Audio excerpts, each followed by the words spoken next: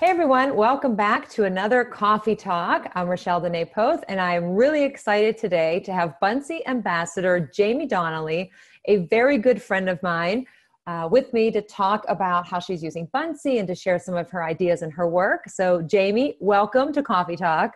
Thank you. Super excited to finally be invited. Oh, always been invited. No, uh, it's great to have you, and so I'm looking forward to our conversation and to see some of you know the examples that you'll share with us. But for anybody who is not familiar with you or the work that you do, could you share a little bit about um, your experience as an educator or your professional journey? Yeah, absolutely. So, you know, I've been sharing immersive technology for several years now, um, and it's just continued to grow. I share it often with you. Um, so we have a chance to go out and share, you know, augmented and virtual reality. Um, and then, you know, prior to really honing in on that particular area, there were some other things that I did um, that kind of span back several years ago. One being the creation of Global, uh, excuse me, EdCamp Global. Um, was initially the name and uh, kind of moved away from EdCamp model. And I'm not part of that anymore, but there's some awesome people running it. Um, and so when that started um, was a, an early connection with Buncee because we would reach out to vendors. Deborah Atchison would reach out to folks and ask if they can, you know, use uh, some subscriptions to give out to attendees that were participating in this crazy 24 hour online event. And Buncee was like, absolutely. So very, very early on, we had Buncee contests. Um, people would create in Buncee and do some fun stuff um, during the live event and then people would be able to win subscriptions and do some cool stuff. Now, leap forward several years, um, I started really finding a passion for taking the collaboration and moving it more towards the, um, you know, the connection and action. So while I have this connection, what is our actionable piece? And so that was the start of Global Maker Day. And so while I love, love, love sharing immersive technology, there is this one time a year where I put a lot of emphasis into um, our students being creators of content. Um, so it's been great. Um, Global Maker Day, uh, when this concept first came out, I was in direct connection with Buncee. And while I was doing that and talking about this event, I thought, you know, this would be a, a neat platform to host the event on. So this kind of being our landing page. Um, we do have a website, and um, what we do is we use Buncee, but you know, I'll explain a little bit more kind of what the concept is. But um, we have that all housed inside of our website within Buncee pages, so embedded on the site. So it's been really cool because the functionality of the tool is mm-hmm. often not discussed. It's usually discussed on, you know, the creativity and the design of using Buncee. Whereas for me, the functionality is what allowed me to have a safe place to send classrooms. And so, and Buncee does an incredible job. That has always been a huge priority for them, um, is having, you know, the privacy of our students and the content really being a safe place for our classrooms. So um, because yeah. of that, it's made a tool like Buncee uh, really usable in an event, an online event like Global Maker Day. Yeah, and I love that because, and I was going to ask you, like, what decisions or how do you make a decision about what types of tools to use uh, when you're going to use some different rules? And you know, you mentioned a lot of them about the, like the functionality and the options and the choices that are available, which Buncee has so many. And I know that in doing things like Global Maker Maker Day, which I didn't realize how long you have been doing that and then thinking back to whenever I first met you, you were in the stages, I think maybe even doing EdCamp Global, um, also the Global Maker Day, and just seeing how many different people from around the world you were connecting with, and then being able to share like these creative presentations and messages where everybody can create with. So that's got to be an awesome feeling, I'm sure. It, you know, it really is. I'm actually going to pull out some of the stats because I think that is important when you talk about Global Maker Day because it's never been necessarily about the quantity of people. It's really been mostly about, um, you know, what does this look like in transforming a classroom? Right. That has been the main goal. Like this should shake things up in our educational system. Um, so that, you know, because that's been our intent and focus in this event, you know, there's been incredible organizers that have been part of it. Um, I will definitely give them a shout out as well. Um, and I think that at the end of the day, you know, we started this event in 2016, spring. Um, so it was early on, and I want to say maybe a March event or so um, maybe even April. And so then I was like, okay, I'll do it again in the fall. And then I did it again in the fall. And it was like, okay, this cannot happen twice a year. It's too much work.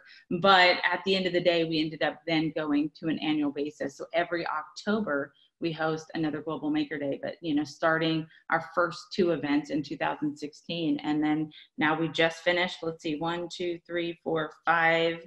Let's see, one, two, three, four, five, yeah, we're going into our sixth event this year. So wow. it's kind of crazy to think how how long that has been, but yeah. Um, yeah, certainly. Okay, so just like you mentioned, finding the right tool.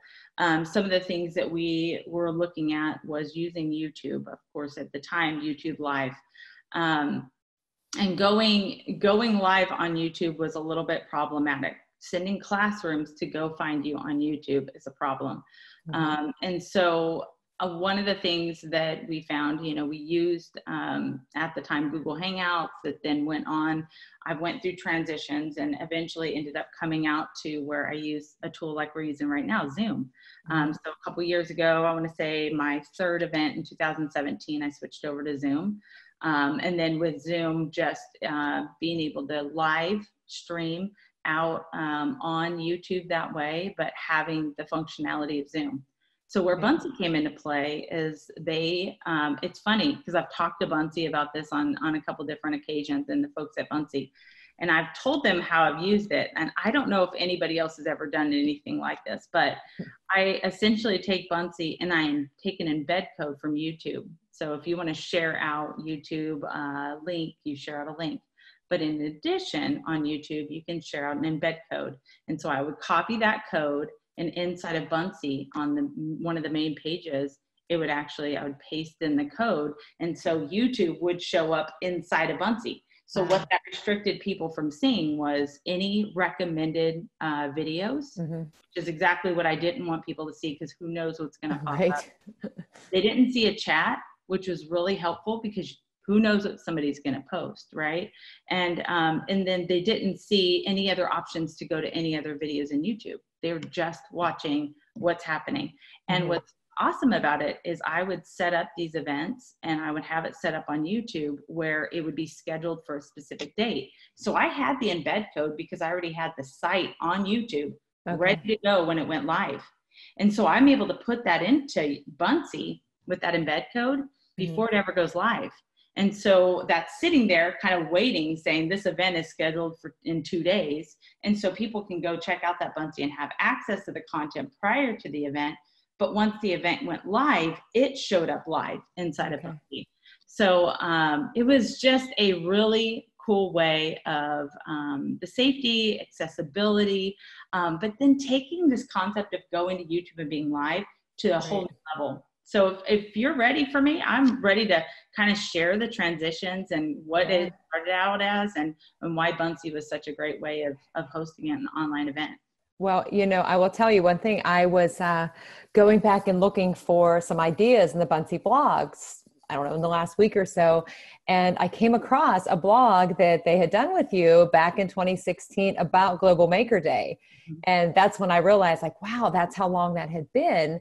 But I loved what, when you talked about like the Global Maker Day and the Makerspaces project and saying that it, the idea was to, you know, create a space where students could um, create something that means something to them and then they could share it on a global scale and all of that and being able to do that. And you had some examples there that students or teachers had done too with using buncee and i thought i love that because it is really the space where students can find exactly what they want and we have those abilities to connect you know globally. And now when we have things like the immersive reader whatever the students are creating when they are exchanging their ideas globally like they can have that language translated and it's now you know it's a teachable thing mm-hmm. that they've created so they're they're creating and they're consuming but it's such you know an authentic and meaningful way to do that so yes i would love and i'm sure everybody else would love to see examples and how you do that Okay, perfect. And I will say that, um, you know, starting out with this event, you know, it was never about that quantity.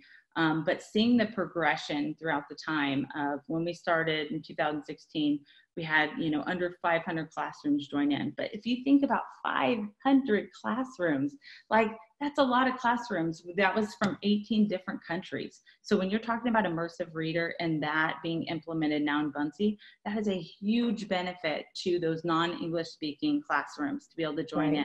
Um, and then even this year, talk about accessibility. This is the first year. Uh, Mary Alice Kern is part of the organizing team, and she connected me with a classroom that does coding, um, Deaf Kids Code. And so this organization goes out and helps support those the deaf classrooms and wow. they are really supporting them with the resources to get started and so this year for the first time we actually had our students present um, in sign language for one of the sessions um, that were demonstrating what they created using code. And then they had their educator that was there to translate what they were saying and help support that connection for those. Um, never happened before, but what an incredible time yeah. we live in that across the world those students are sharing. And when you said sharing on a global scale, it's not just sharing globally. This is authentic we are not a corporation. We're not going out there and pretending to be Microsoft or, you know, Skype in the classroom. Like we are just a group of individuals that love doing this, that love seeing what our kids do. And then just giving them the day is not mm-hmm. enough. That's, right. that's never been the point. The day is focused on change. And then once that change has been made, then we're seeing them just just go crazy. So you can literally sit there, look at hashtag Global Maker Day for the day of the event, and it will bring you to tears what these kids create and they are immediately asking when do we get to do this again? Yeah. Because they just want the opportunity. So all right with that i'll go ahead and okay. screen. Um, and that um, will be a chance for you guys to kind of see the transition from when i started to um, you know where where it is today. All right and i'll just hmm, i'll share my desktop and on my screen, I'll show you uh, my Buncees that I have created throughout the time um, and just some of the things that I've used it for. But of course, really heavily focused on Global Maker Day um, first. And so I went in and let's wait for that to populate. Um, this was the very first one that was created for um, Global Maker Day 2016. So the initial concept was we're going to take this day and we're going to have four different videos going live at the same time. So one was going to be focused on being a designer. One was going to be a recreator. Um, one of the videos uh, throughout the day was going to be focused on being an entrepreneur and then a global problem solver. And so as people came in, they went into these areas. And then when they clicked on it, then they had the option of going in to YouTube. So that was uh, the first concept of kind of linking them out um, because of the way that it was set up initially. So that was um, the very first Global Maker Day. And then um, the I will tell you, after doing it that way, I had shared this out with um, the uh, my personal school district at the time, and we had a professional development day that came out. And what we did is we shared it in Buncee. So for all the teachers, we had a page where it showed what was happening throughout the day. And then they got to go in, and each of these were linked to uh, Eduphoria. And in our case, we were linking them to a spot to um, register for the session. And so each of these sessions that were offered throughout the day, they got to select which one they went to. And we kind of laid it out using Buncee. So when they saw that I had used it with Global Maker Day, they saw the um, availability of using it even in professional development at school. All right. So then um, Global Maker Day for that first group, um, the schedule that day looked something like this. Again, created in Buncee, um, but shared with what they can do which is intense, right? Um, so we had different presenters all throughout the day. Um, and then each of the time frames, what we did is we listed it at Eastern time. It's always been listed at Eastern time just because that's one of the more common time zones for the US that is used. Um, plus, we really wanted to connect with classrooms that um, would align more with Eastern time than Pacific time. So more classrooms actually are closer aligned with that Eastern time in the US um, outside. So that, that helped us to kind of know which time zone we really wanted to emphasize. Um, and then uh, GMT time was that universal time, right, that everybody gets. So I listed that as well. And that um, allowed people to be able to come in and kind of align their own time zone with that. Uh, shared out a couple different ways for them to align with their time zone, but essentially that's that's how it all worked out. And then um, sometimes there was things like we didn't necessarily have a session during that specific time, so just got filled in so that they didn't accidentally go there um, during that scheduled time. So we had some openings. Um, but you know, Nancy Penchev has been part of this event from day one. So she's been part of Global Maker Day. She is now part of the organizing team. We actually just hosted Global Maker Day at her school in Orlando um, this past, excuse me, in Miami um, this past October. So she'll be joining us for um, Global Maker Day 2020, which is exciting. And she's part of that organizing team. And she has been able to bring in her students at every level um, throughout the events. And this first one, and this is what's so powerful about this, is this first one, she brought in um, a student that was extremely shy. So he was um, just you know really was um, having a hard time communicating in schools and and knowing how to vocalize kind of where he's at and and just kind of at those years where you're still trying to figure out who you are. Um, it was because of global maker day that gave him the confidence to do what he's doing now. And now i believe he's a senior in high school um, and he, I, you know, he was able to be there at the last Global Maker Day. But just to see that, you know, you started this place, you have this authentic global audience, you took that challenge and you were successful. To now, that was your boost to be able to go out and do the things that you're doing now. Happens to be in this case like the superintendent, it's a private school, but the superintendent's son. So it was really just cool to see how this event, and of course they valued the event because of that, to see how it directly affected their students. So throughout the day, there was those four events, and then they can go in and watch and, and see that schedule as well. So um, going back to that dashboard and seeing how it all went down, um, one of the things that we did inside of this event, let's see, I think this might be the official, so I can show you the other slides.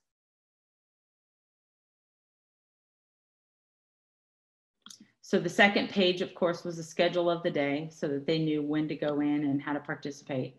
And then that third slide was some of the um, different places that they can go and get more information about. So some of the things that were being shared, we wanted them to have kind of this virtual vendor hall of um, different resources. So we included some YouTube videos for them to go back and watch, but also those connections with the companies. So they knew like, okay, I loved this presentation, but where do I follow up? How do I bring that into my district or my classroom. So um, we wanted them to have a place that they can go back to and um, have access, you know, to this information in the future. So there was some cool stuff shared, um, certainly beneficial to the group and and taking a leap. And at the time, I will tell you, 2016, there was people just didn't even know what a makerspace was.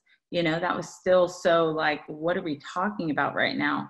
Um, of course, now we're in a different place in education, but at the time it was is very much almost just sharing out like what is this? Why do we need it? Do we need it? Can we you know? And throughout the time that i've been doing this it's never been about go out and build a maker space or have this certain space you do it but really just making that culture a part of what your classroom looks like every day um, our students creating. So cool stuff.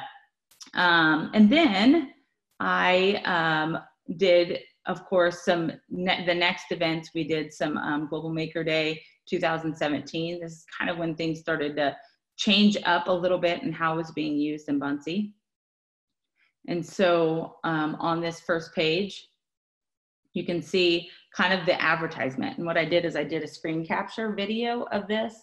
Um, and in that video, I shared it out on social media so people can join in and, and uh, kind of just you know that that letting them know what's happening and uh, page two was the live feed. So again, the embedded code in here. So if they were watching it live, they were able to come to page two and see it happening real time.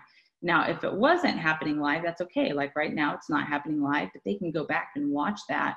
And instead of having four different strands of videos happening throughout the day, we brought it down to just one video every half an hour. So we had um, presenters coming in starting at 11 a.m. Eastern time. And then throughout the day, there was different presenters. And instead of having to go out to go find those places, they all found it inside of Buncee. So um, it was nice because they were just essentially looking for the time of when they would be joining in.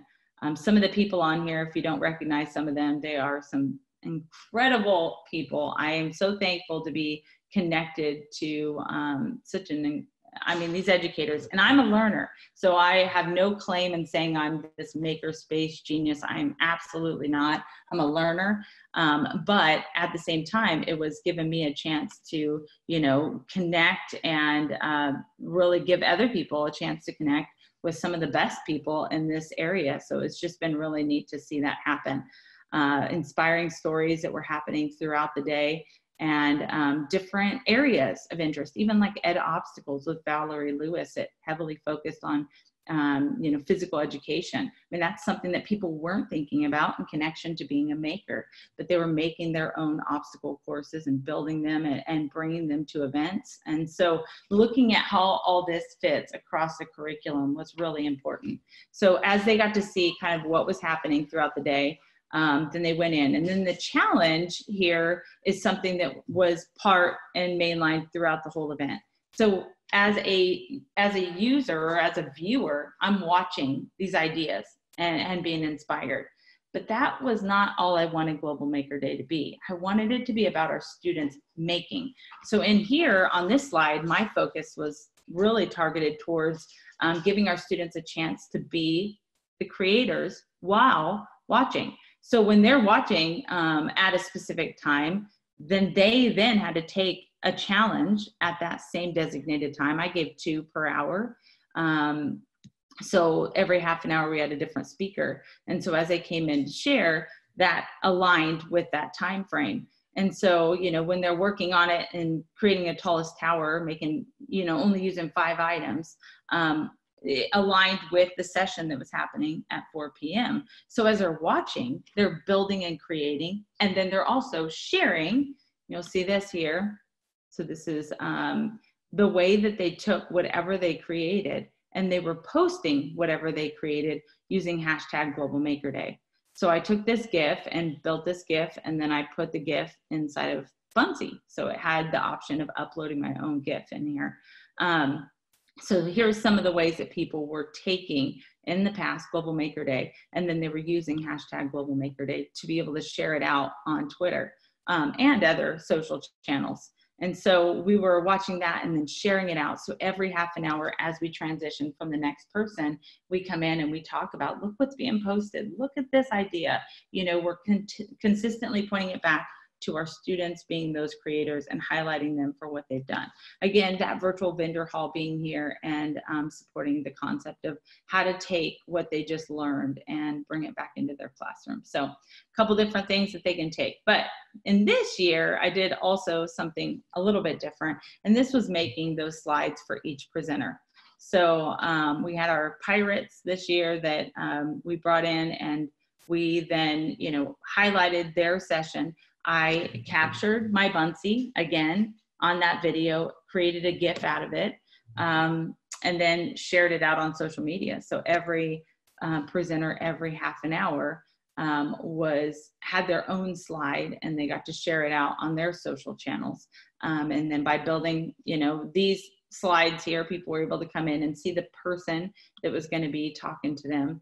Uh, Joy Schwartz is phenomenal. The stuff that she shared that year with 3D printing and printing a prosthetic limb for students around the world um, was just blew me away. And surprisingly, Joy spoke very little and her students spoke the whole time. So it was the students that really took it over. They owned this project themselves.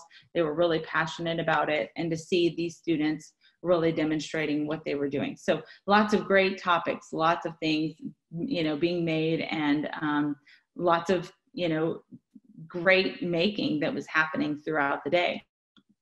So, um, you know, those, that concept I think was the most similar to what we had, you know, in, in previous years. This one being our latest, and this is the 2019 in October that happened. Um, you're going to see a lot of the similarities, but kind of the same concept. You know, you have your first page of slide of introduction that I'm able to share out either as a, a still picture or I can share it out even as a GIF. Um, hopefully that will populate. And there we go. Um, and I'll just do full screen so it's a little bit easier for everybody to see. Um, and then, you know, so this was our page. And on this main page, you push play here, and that is what would bring you into, of course, what was being pushed out to YouTube. So students can watch it on our website at globalmakerday.com, which is embedded. My Buncee is embedded on there. And inside of Buncee, a YouTube video is embedded. It's crazy. So um, kind of all around, but you know, beyond just looking at it on um, YouTube, I have the option of highlighting our speakers and the topics that were going to be happening, um, some of the visuals that they were using to highlight what they're covering, the people to get connected to, um, the topics that they're talking about were just amazing and um, lots of just incredible feedback and responses from people. So it gave them a chance to kind of build their PLN as well. Um, so as the day went on, uh, we finished up this year for the first time with a wrap up. We talked about some of the things that we saw, just quickly kind of covering and, and highlighting our uh, aha moment throughout the day. Um, and it was just, you know, great. Again, always focused on our students designing making so they were always a part of this so they went in and they created of course this happens in october every year so because of that, uh, Halloween seems to fit quite nicely with what we're covering. Um, and so all this was all brought in through Buncee content. Um, you know, I have those animated characters. I have the background images, um, the text, and even inside of the text now having the option of that immersive reader and it being read to me and translated based upon my own preferred language. So all of that being accessible for students around the world.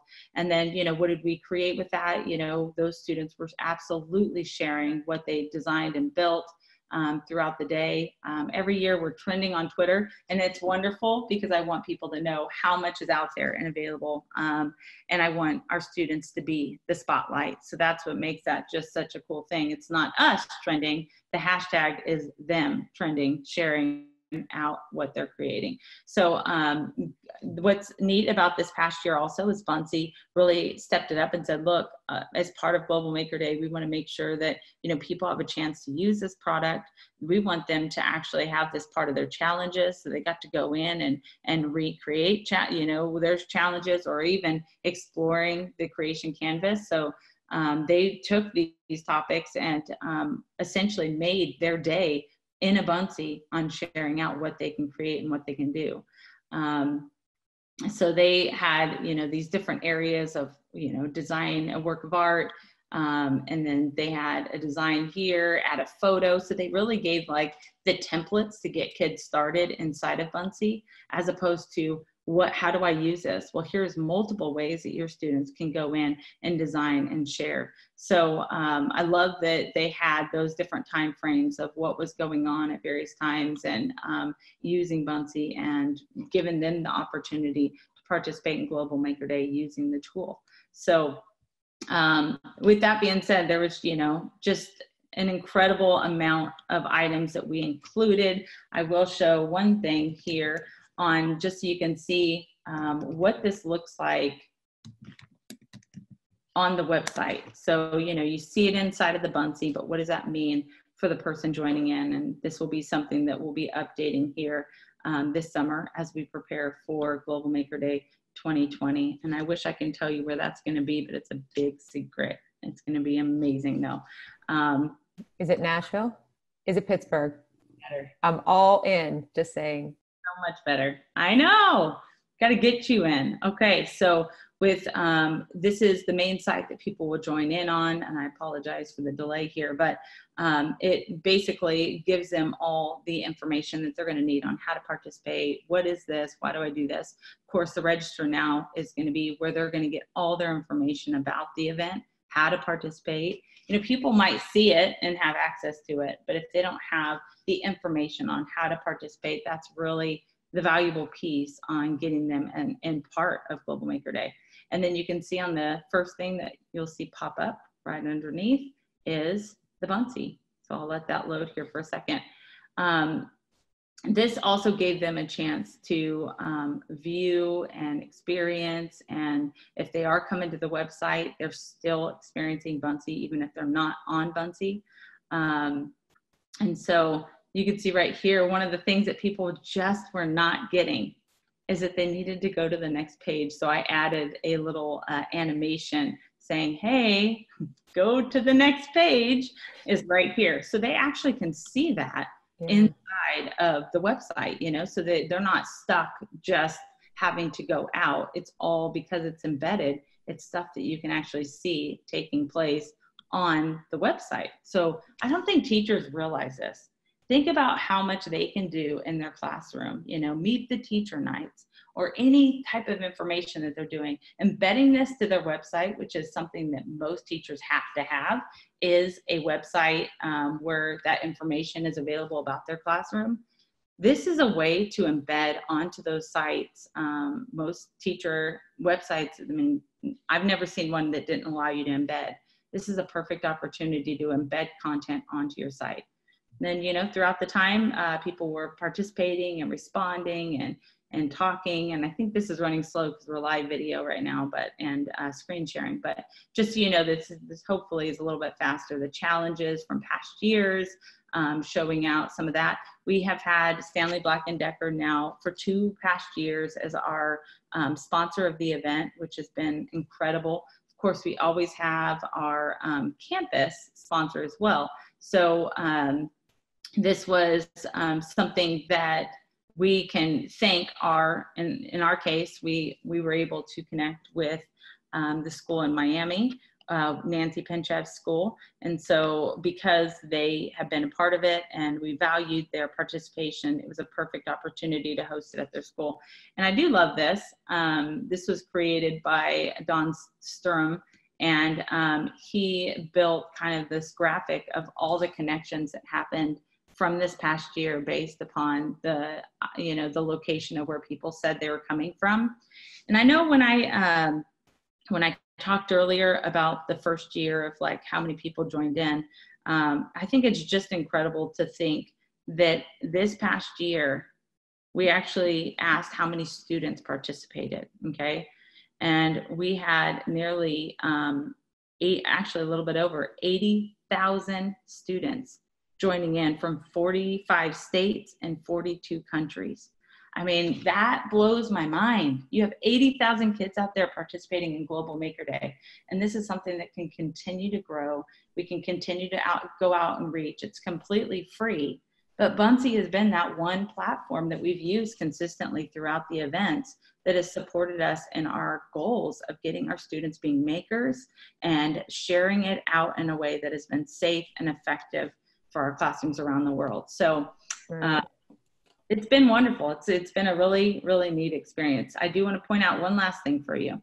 And this is um, the people that have participated and helped organize this and put this together. Um, if you don't know these people, you need to know these people. They're amazing, uh, amazing people. Well, you know, Amy has been part of your show as well. Katie um, is an ambassador, and I think Drezik and Mary Alice. So um, many of us that, you know, obviously firmly believe in the Buncee product and what you guys are doing. Um, so lots of great people there to get connected to. And I have, you know, no doubt that they'll continue to be a part of it or at least heavily involved in helping to make this a successful event in the future. Yeah, that is, well, it's awesome to see just the growth that that has had from what you said the meeting like 18 countries and 500 classrooms which in itself is a lot to now how many you've had and then i knew that dawn had created that um, for you this past time, just to visualize that, like where everybody's joining in from. But what an amazing project. And I love, like, just the other day, I was creating something in Buncee too, and I typed in like maker, maker spaces, and there are so many like things that have been added in the last couple of weeks. And so it's really nice, especially for me in my eighth grade STEAM course. You know, we do a lot of different topics, which you know, augment virtual reality, but I want them to create, and I always want them to create with Buncee because they can do so much with it. If they want to put in the audio, if they want to take a selfie or do the video, and um, I didn't, I wasn't even thinking about the thing that you mentioned about YouTube, but being able to put that in to Buncee and not have to worry about all of that other the pop-ups and things that come alongside of it. Uh, that's huge. Uh, plus the little arrow showing like where to navigate. That was that was a definite perk too. But it is really neat to see how much it has grown and the impact that has made on so many students and educators to be mm-hmm. able to like oh i here's this tool i don't know anything about. Oh well, let's create with it. And then you learn about each other. And then when you factor in the, the languages with immersive reader just from the beginning 18 countries now look at how many you have. And chances are like they can all find their language that they need to go through. And even for the teachers too that want to participate to be able to translate that um, and say oh yeah we can totally do this. Like that's awesome. So thanks for sharing all that with us definitely thank you for the opportunity to share and it helps me even reflect on how much Buncee has been part of this journey that we've been going through with global maker day and um, you know many other situations that i've used Buncee because it has fit kind of a niche that isn't mm-hmm. super common. So thank yeah. you. Yeah, well, thank you, Jaime, for joining us today for Coffee Talk. And if anybody wants to follow up and connect with you, what's the best way to reach you? Yeah, as far as Global Maker Day goes, uh, globalmakerday.com, you can jump in there. And as we approach the event this summer, uh, we'll be advertising and getting people to register. Um, if they want to follow me on Twitter, it is Jaime Donnally just like this. I think it will show up my name um, at Jaime Donnally. Um, and then we also have at Global Maker. So um, this will give you a chance to connect and and be part of you know really the change that needs to happen in every classroom. So uh, yeah, thank you. All right, thanks. We'll see everybody.